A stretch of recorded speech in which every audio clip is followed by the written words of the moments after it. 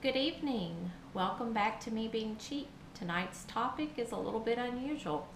Our gym is doing a keto diet challenge, so I am going to show you my meal prep.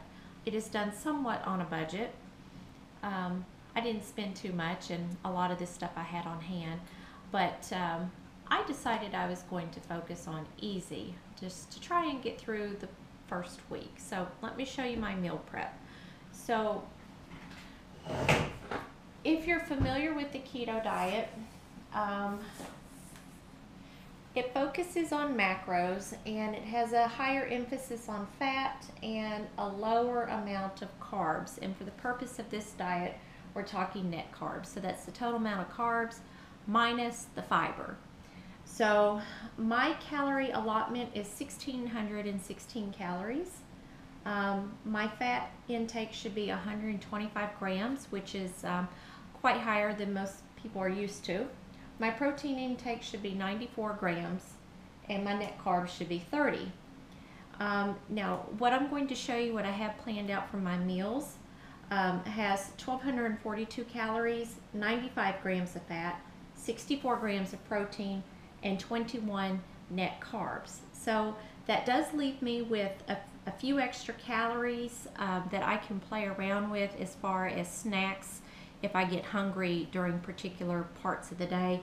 Um, I will have some flexibility here in which, um, you know, I could pick, you know, whatever I'm craving and, and you know, as long as I stay within uh, the allotment.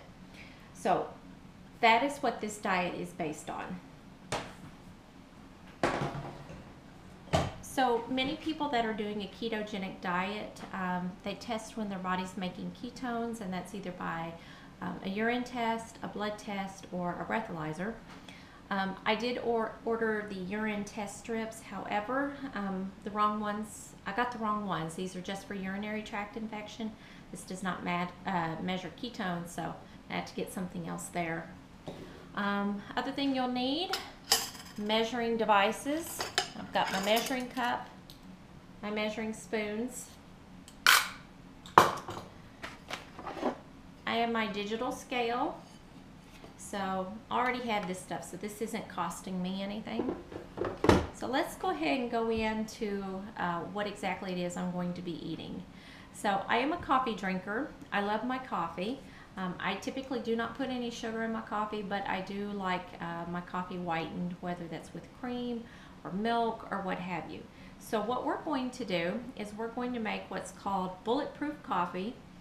Um, it's also called keto coffee. So you make your uh, standard cup of coffee and you add to it one tablespoon of butter, one tablespoon of coconut oil. Now, I had all this on hand, um, so I mean, it's just stuff I use, so I can't really tell you how much it costs. It's not special ingredients. Um, and I'm going to add fiber powder, and this is the sugar-free. Um, this is not the Metamucil. This is more like the Benefiber. Um, I will add some of this to the coffee as well. This is not typically included in the keto coffee. So, with these four ingredients, the coffee, the fiber powder, the butter, and the coconut oil, it's 235 calories, 25 calories from or excuse me, 25 grams of fat, no protein, and one net carb. Okay, so let's talk about breakfast. You're gonna see a lot of eggs on this video. I have chickens and I have constant source of eggs. So we have eggs from my chickens and for this diet we're going to do two eggs.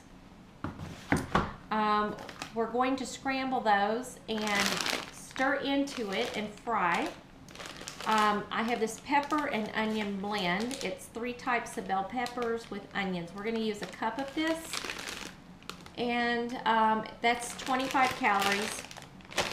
Uh, 25 calories, no fat, one protein, and four net carbs uh, for the vegetables. Now, I have a choice of bacon and I had this on hand because I buy like a whole hog or half hog. So I did meal prep this morning and I fried the bacon. So I've got bacon and I have sausage so I can mix it up a little bit. I have the sausage already cooked. All I have to do is measure it out. And um, so for the sausage, that is going to, and that's one ounce of sausage, by the way. Uh, that's 94, almost 95 calories, um, almost 8 grams of fat, uh, 5.5 grams of protein, and no net carbs. And I'm going to add on top of it some salsa. I already have this on hand. Stuff's good. Um, and the salsa, two tablespoons is the serving size. That's 15 calories, no fat, one protein, and three net carbs. So that takes care of breakfast. So breakfast is a total of about 280 calories. And that's for the two eggs, the meat, the veggies, and the salsa. Um, about 17 and a half grams of fat, 19 and a half uh, grams of protein, and about 7.8 net carbs. Okay, so that is breakfast. Uh, for lunch, um, oh, and as far as cost, um, the mixed vegetables are usually around a dollar a bag on the frozen vegetables for the store brand. Okay, so for lunch, we're going to do a salad. And I typically buy the bagged salad. I'm gonna have to get some more of this because this stuff doesn't last very long once you open it. So I didn't want to like buy like a whole week's worth. So anyway, so we have the salad and that's one and a half cups. And we are going to do boiled eggs, one of them, and ranch dressing. Now, I had ranch dressing on hand, but I figured since I'm going to use a lot of this, I wanted to upgrade to one that's a little bit better. And this one only has just a little bit, it actually says zero trans fat. Now, the other prepared salad dressings tend to have a lot of the trans fat, but this has none. So, um, I did upgrade on this. I could have used what I had on hand, but um, I figured why not? We'll just get something that's a little bit better. So two tablespoons of this and a quarter cup of shredded cheese. So again, I had the cheese on hand. So um, the salad is 20 calories, no fat, one gram of protein, and three net carbs. The boiled egg is 72 calories, 4.8 grams of fat, six grams of protein, and 0.4 net carbs. The ranch dressing, and that's for two tablespoons, is 146 calories, 16 grams of fat, uh, 0.4 grams of protein, and two net carbs. The quarter cup of cheese is 100 calories, 8 grams of fat, 7 grams of protein, and no net carbs. Okay, so that is lunch. Set this to the side. Now, for snacks, um, peanuts, I have one quarter cup, and that's 170 calories, 15 grams of fat, 8 grams of protein, and one net carb.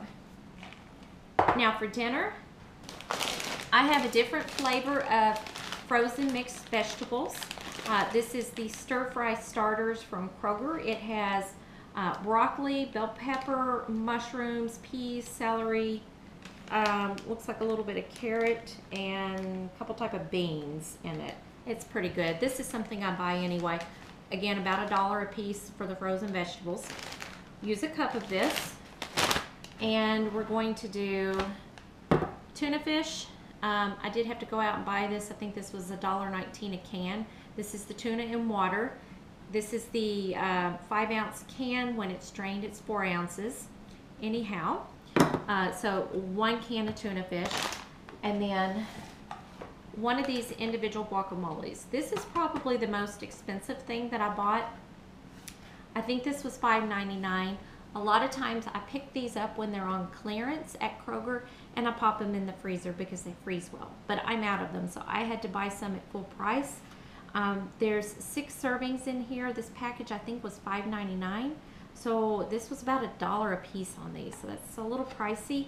However, I find that when I get a big thing of guacamole, it turns brown. So I suppose I could make my own, but then you would have to have the avocados on hand. And it's just easier to do it this way. And this stuff tastes pretty good. So um, again, $5.99 or about a buck a piece on these minis.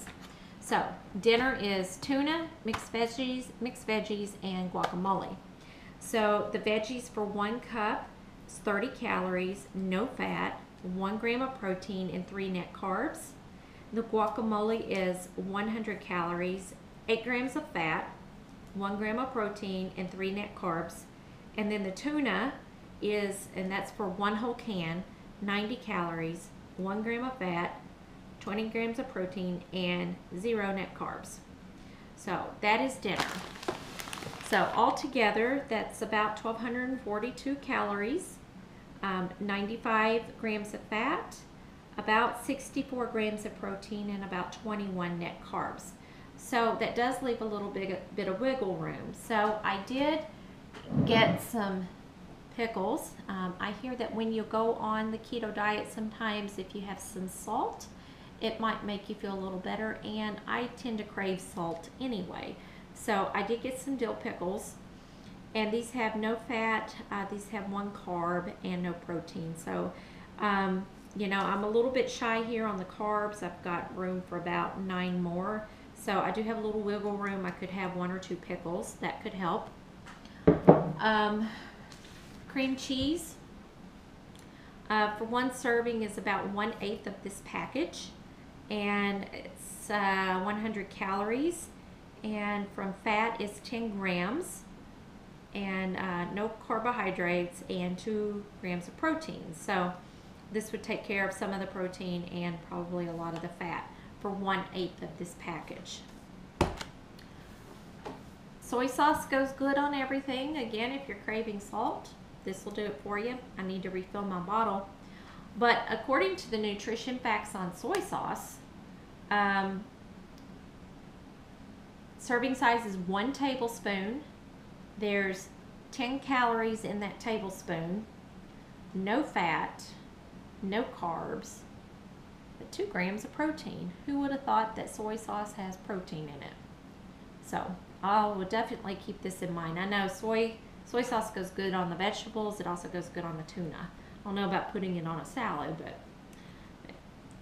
anyway, there you have it. Uh, my meals for week one. I know some people don't like to eat the same old thing over and over again, but again, with the breakfast, um, you can mix it up. You can have your choice of bacon or sausage. I usually eat a salad every day, so that's nothing new for me. Um, and then dinner, um, the mixed veggies, the tuna and the guacamole. The tuna might get old. I do, if I get sick of tuna, I do have some chicken in the freezer and I also have some pork in the freezer. And so I could, um, you know, put in an equivalent amount calorie, fat, and protein wise of the pork or the chicken and kind of rotate that out, get a little bit of variety.